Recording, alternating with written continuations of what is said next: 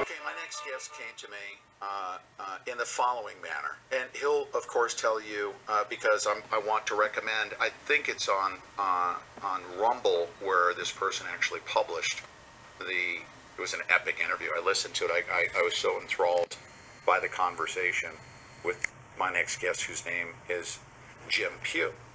Uh, he's got an MBA, he's a life coach and instructor of business related courses. Jim, for the past 35 years, has studied the theological concept of ancient scriptures and the practical applications in today's world. And in his business international travels, he took the time to speak to leaders of various religious, religious denominations to create a perspective of cultural religious beliefs today. He's taught a spiritual perspective of world history and most recently has addressed the current spiritual war the world is experiencing today in radio interviews and podcasts, of which that's how I came in contact with his name. But he lectures about spiritual concepts and history, continues to develop from self an understanding of God's rules, principles, and laws, and how they apply to the nasty and chaotic world we live in. It is his hope that he may be a grain of sand with a loud voice to provide hope to all the people that may listen. And I'm going to say this right now if it were not for, for me hearing uh, that interview, um, you know, but by doing so, you know, I, I call it the um, uh, the but the bucket brigade. We are when we find a, a great uh, uh expert in his sphere of influence. I believe so. I want to open up our conversation. Just give everyone uh, the words from your own mouth, uh, the comfort that they know deep down inside of their soul that we are in the epic battle of not just our lifetime, but I think in all of human history. This is a spiritual battle between good and evil on planet Earth, is it not? Oh yes, and it goes all the way back to the Garden of Eden. If you if you study the scriptures and look at the the cyclical times throughout uh, history, even leading up to today, what you find is basically the war that we've been in since that time is the war good and evil. And right now, instead of being more physical war like it uh, was in history, it's more of a mental war. Basically, this is a war of the mind. It's, it's who's going to get control of your mind, and therefore control of your spirit, because basically they're intended to just break you down. And this goes back to the two bloodlines, basically all the way back to, as I said, to uh, creation itself. And you've, you've heard it talk about uh, the bloodlines uh, in mainstream media, even even today. I mean, basically, they're coming out with the understanding that, that there is bloodline issues with this, and I'm glad that it, the, basically the truth is coming out finally. It protect our God-given rights. When we showed up here, you know, naked, we had certain unalienable rights. But your mission on God is government is to create educational solutions, including books, seminars providing the truth about government and world history our society today is being led by elites that are focused on not God's authoritative structures, his constitution and statutes, but on worldly views associated with a pagan God. Since the beginning of time, the people of this world have been blinded by the lies, corruption, and propaganda education from our government as dictated by the elites. That is not just a mouthful, it's an absolute fact that yeah. you can go back in history to see how they've formed. Uh, even the you know the maritime laws, law of the sea, uh, and the way they they set up uh, a commerce worldwide, the postal services, all of that. It's very very real, is it not?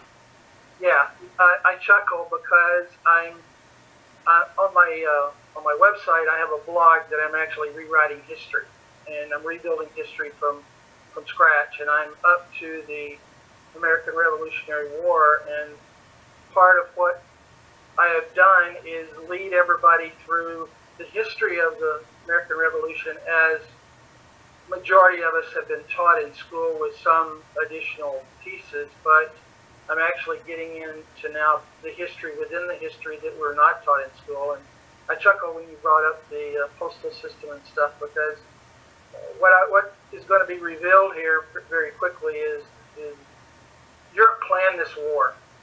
Uh, they planned it for the benefit of protecting them, and I don't want to get too far ahead of myself, but it's amazing how uh, how all of the pieces are going to come together in history now. So if you look at if you look at what is going on today, we're sort of in the in, in the transitionary mode. I can I can say that the transitioning of the laws to bring the original Constitution of 1776 up to current date has been completed and was completed right before the election. And um, because basically the military and Trump, when they pulled the trigger, they wanted to make sure that we hit the ground with all eight cylinders. And so they they did everything they needed to get that get the laws up to current state as best as they can, knowing the fact that he was going to have to do a lot of EOs. Now, if you look at his EOs right before he left the office, and you're saying, oh my gosh, you know, those are dated for delivery in five days, a month, and 45 days. He's, he has written the executive orders that would allow the transition to flow nicely with all of the protection mechanisms in establishing the rule of law, which basically he, you know, Donald Trump's a rule of law president, and establishing the rule of law necessary. And and you know what we what we're seeing is a cleaning of the swamp today. Mm. Uh, but but going back just a bit, and if we look at going back to this 1871 a bit, just a little bit more, the um, the way that they did this is kind of unique because they they daisy chain corporations.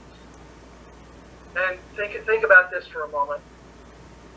IMF stepped in when IMF got on board and, and basically required all of the states to incorporate and incorporate with through the federal government.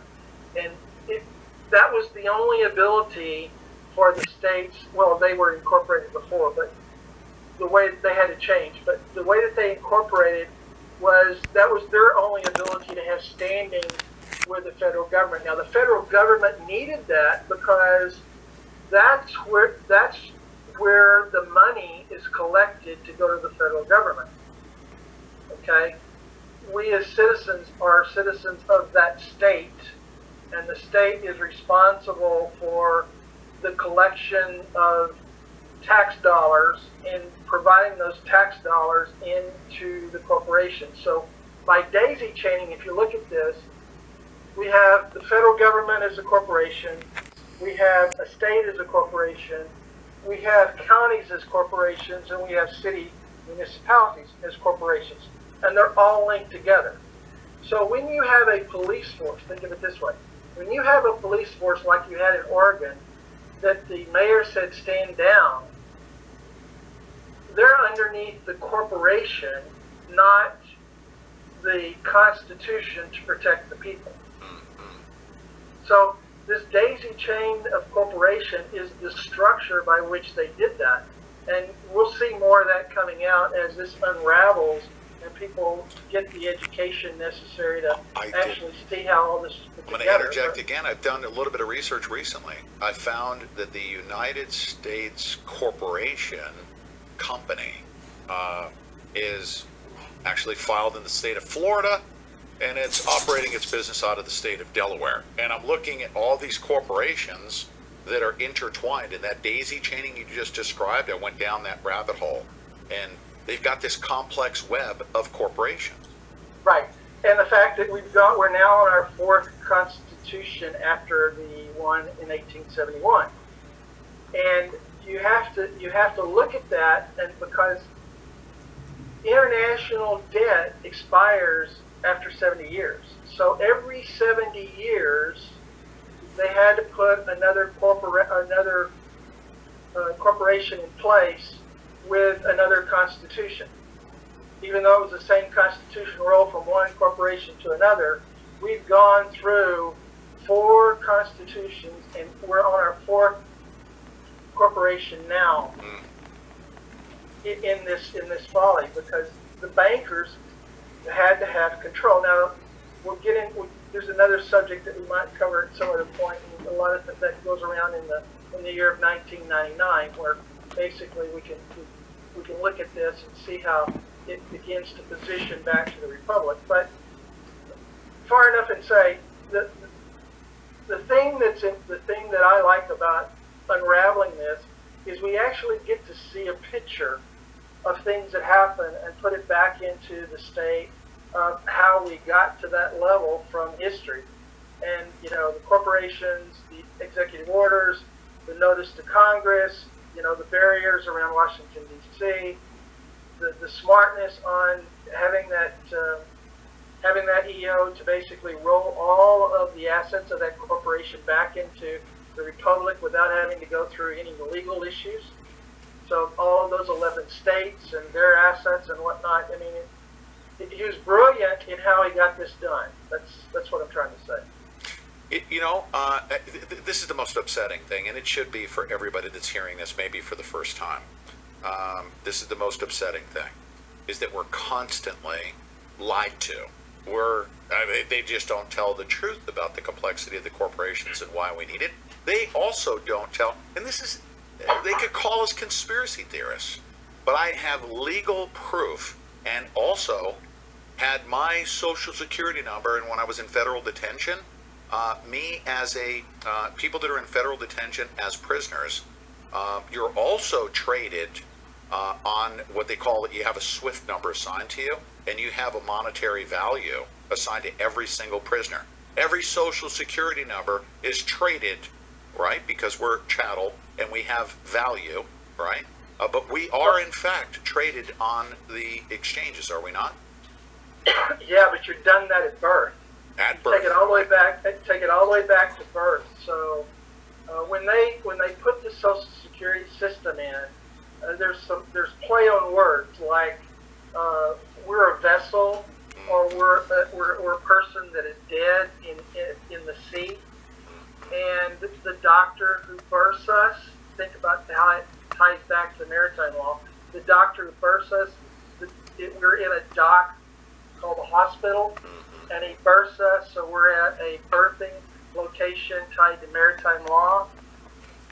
and the birth certificate becomes the document by which it goes into the legislative side that they actually take and and they determine the value of from from statistics. They determine the value of the revenue that you're going to generate, and they sell your stock certificate in an open market exchange. Mm-hmm. Yes, you know, if President Trump um, one day, right before he left, came to the podium and he said, all right, ladies and gentlemen, I have an announcement. Aliens are in charge.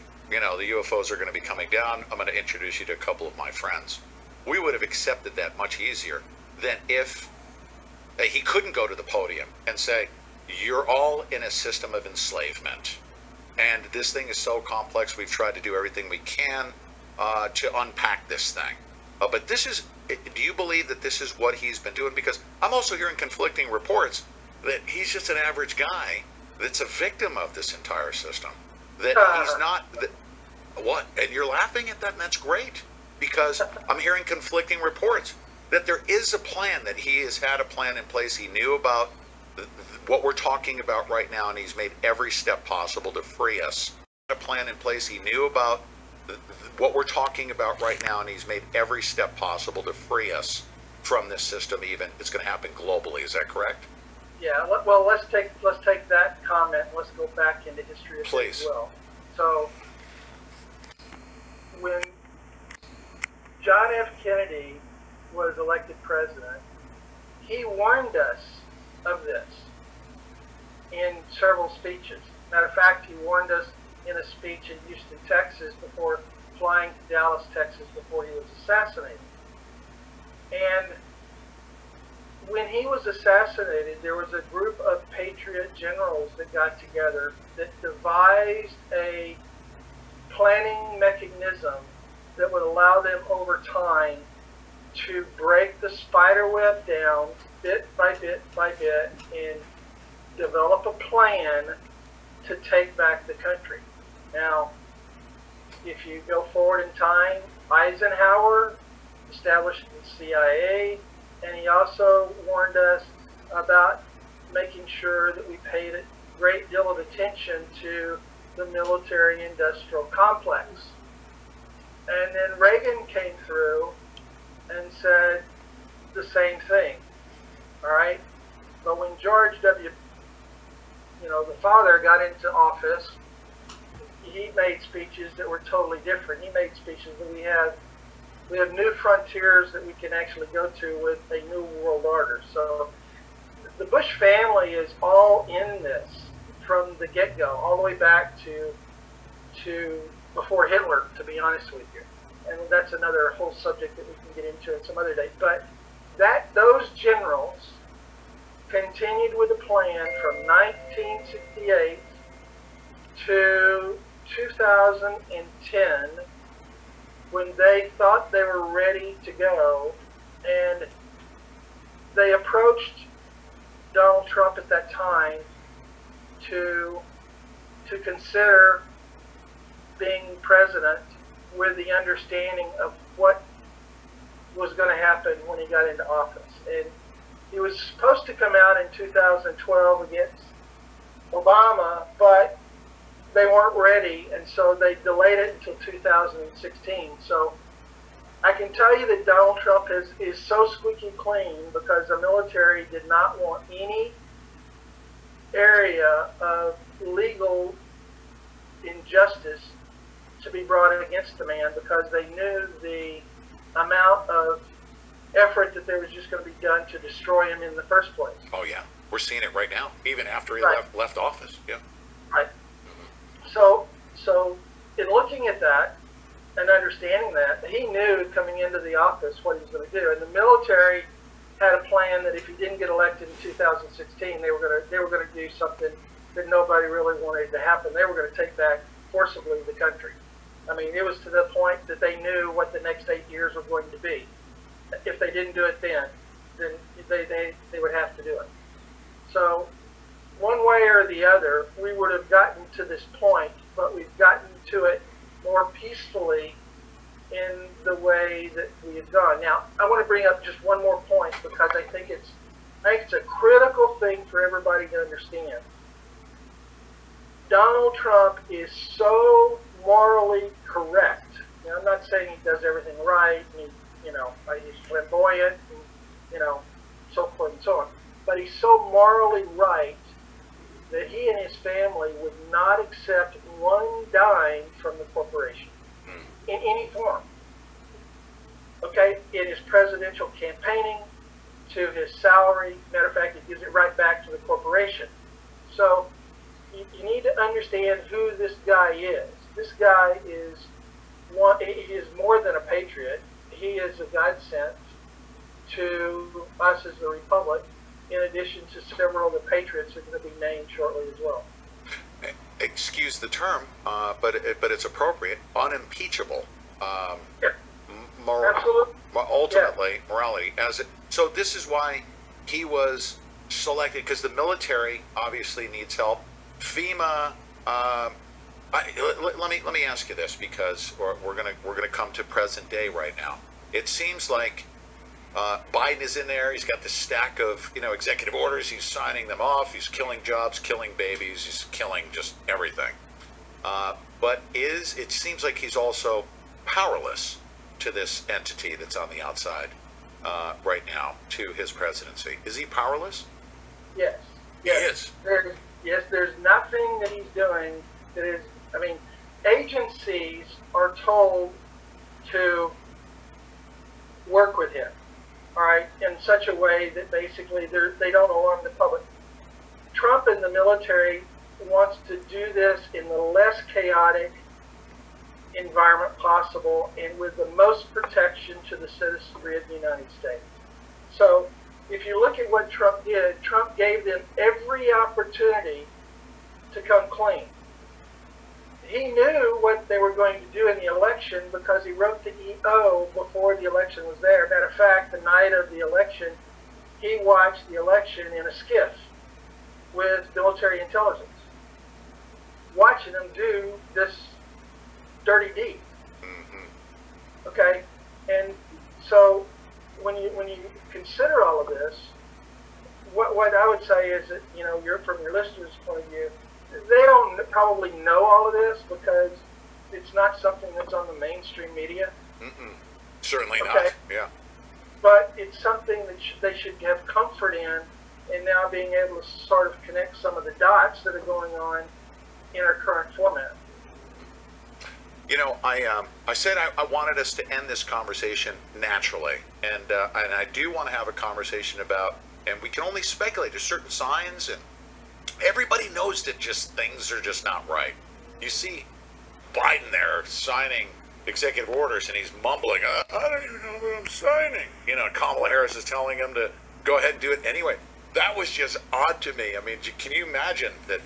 You know, that this battleship, the person at the helm is, you know, deaf, dumb, and blind. You know, we're we're out at sea, just wandering aimlessly with the world's most powerful government. I mean, it's just it doesn't feel comfortable to me. So I want to have the conversation with you, and and we we're allowed to uh, make assumptions or speculate as to where we're going to go. President Trump left. Everybody's disappointed. We're understanding he's coming back in some form. He says he speaks in almost coded language. Um, is it something for us to read into? Where do you think we're going right now? I want you to lay this out for us here, uh, based on your interpretation, your analysis, and you know, obviously your your credentials are awesome. You you do this work, you study it very closely. Where are we going? What do you think is going to happen with the United States of America? We're going to go back to a republic, and we're going to go back to providing all the citizenry with their sovereign rights, and everything that is tied to that corporation when it's finally dissolved. Now it's bankrupt, uh, and whoever you want to talk to legally, it's been discharged, but it's not been dissolved. Until we remove the people from that area and get the, the citizenry to understand of what they have done, uh, everybody's going to feel like that this is going to be in, in a flux of chaos. So here's what I think. I think the military is under operation now to clean the world of all of the bad actors. And in, in that process, we'll see a lot of bad actors in Washington, D.C. that are basically rounded up and dealt with from a justice point of view. Now, I think that there there's over, if you look, I mean, there's there's probably 500,000 sealed indictments, and that's that's just a, a, a wild ass guess right now worldwide. Okay, there's we're over 220,000 in the United States, and I think what you're gonna what you'll see is that FEMA will establish a federal court system that, that manages the court process. And think about this Donald Trump put over 300 constitutional judges inside the federal system. Every one of them knew the plan. So I think those judges will come out of the federal system and go into the FEMA system under constitutional attorneys and FEMA will set up a court system to manage the court cases on all of the individuals that are arrested for pedophilia, child, child sex trafficking, uh, all of the federal crimes. Yeah. Okay? And I think the military, well, of course, I already know the military, are, are having tribunals, which basically we don't even know yet. You know, I would ask you, where's Hollywood's A-list, or where the governors or politicians that you don't hear anything about right now? I, I think the military has already started the tribunals, and I think what's going to happen is the, they, their their responsibility for treason, seditions, and crimes against humanity. And if you recall, Sidney Powell and Lin Wood were in the uh, military court three weeks ago, um, getting di- indictments unsealed and issued for people. So I what I, and I think what's going to happen is that all of this is going to be made public. Donald Trump's the guy that he doesn't care as long as it's not gruesome entertainment, basically. He doesn't care the fact that basically these people feel like that they have rights, that their their injustice to humanity shouldn't be disclosed. I think he's going to put it on national television, and I think he's going to give us movies of confessions and trials. And in the process of that, establishing the republic. You know, you, you have to, I don't know if you followed this morning, we actually covered it. Lin Wood actually put on his uh, Telegram channel a whistleblower um, uh, expose, testimony by a whistleblower, by an attorney. So he's known about the stuff, but he's leaking this stuff out.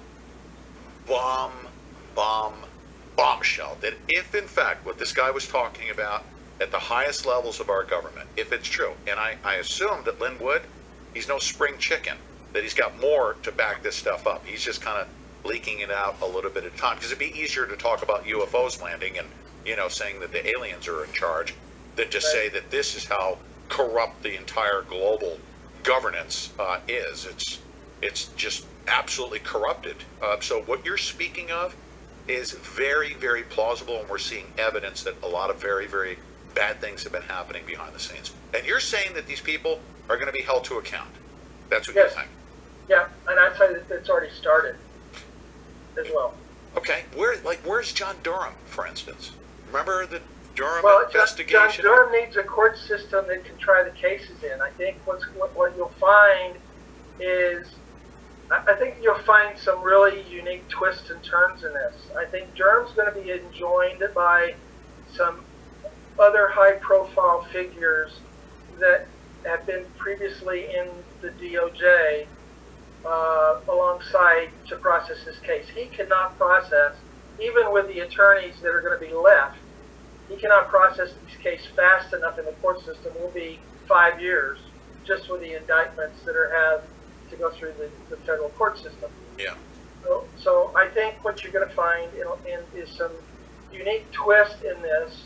Uh, you could you could see um, a Barr come back. You could see uh, a few others come back. Okay, because they have they had they have not particular knowledge about this. Now remember, Barr was part of the investment attorney for the investment banking that funded the original Dominion Yes. company. Okay, so he has he has you know direct knowledge.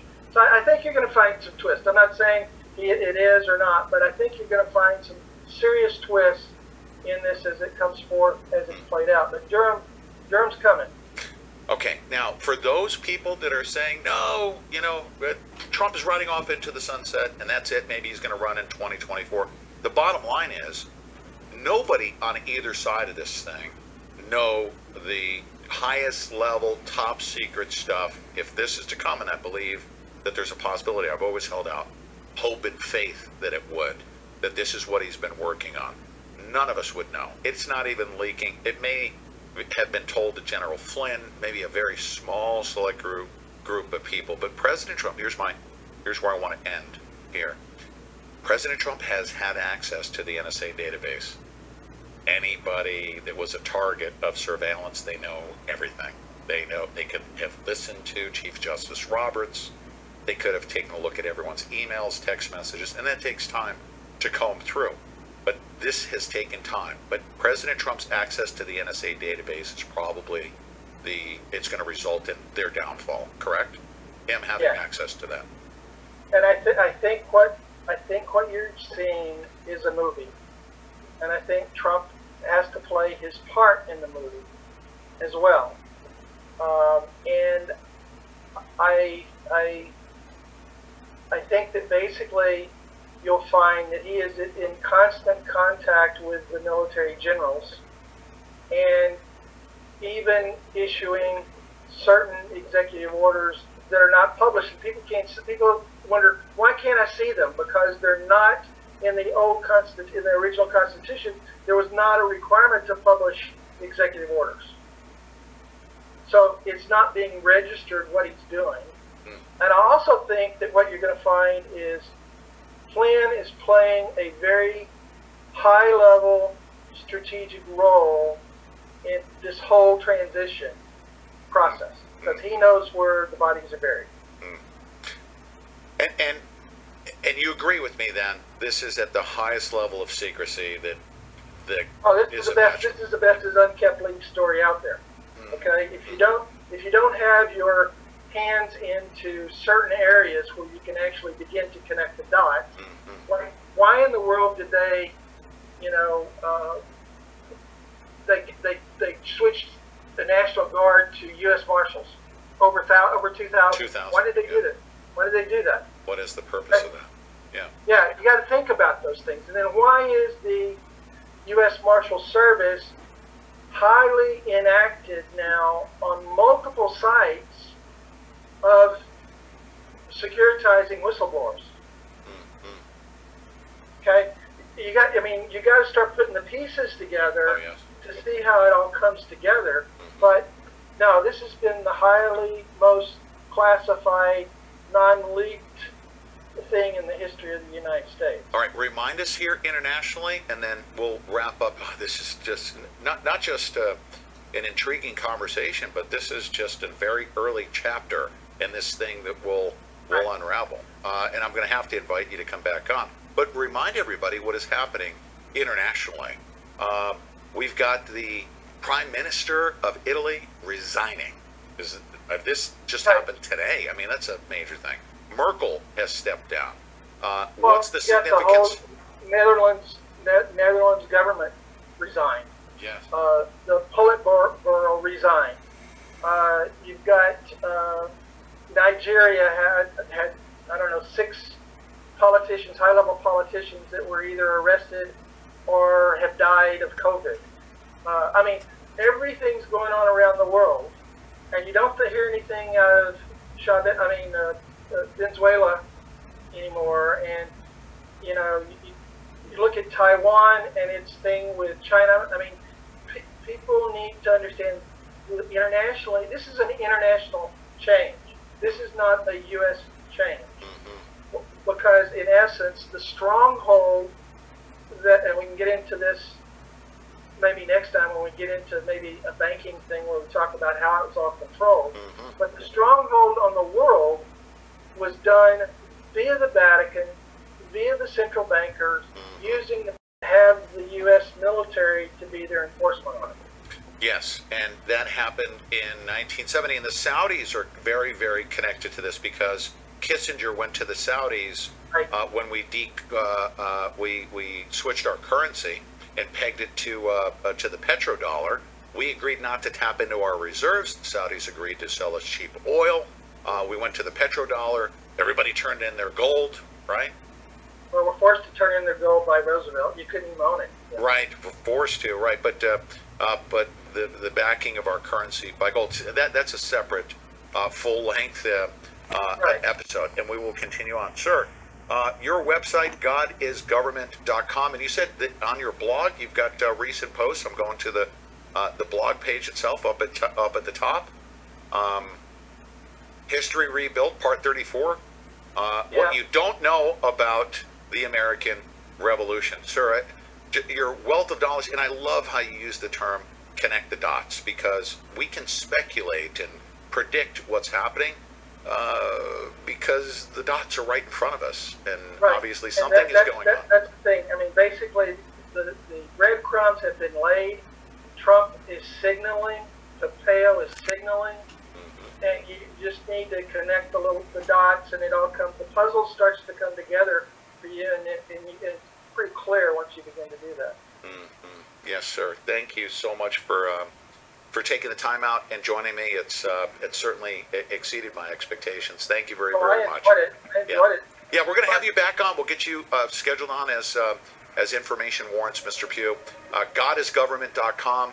Go there. Do you have um, a way to sign up for your? You have a newsletter, or, or Yeah, basically, you can go up and and sign up as a member. It's right below the navigation bar to the right. fantastic, And uh, then you just sign up and, and we'll get the. excellent, sir.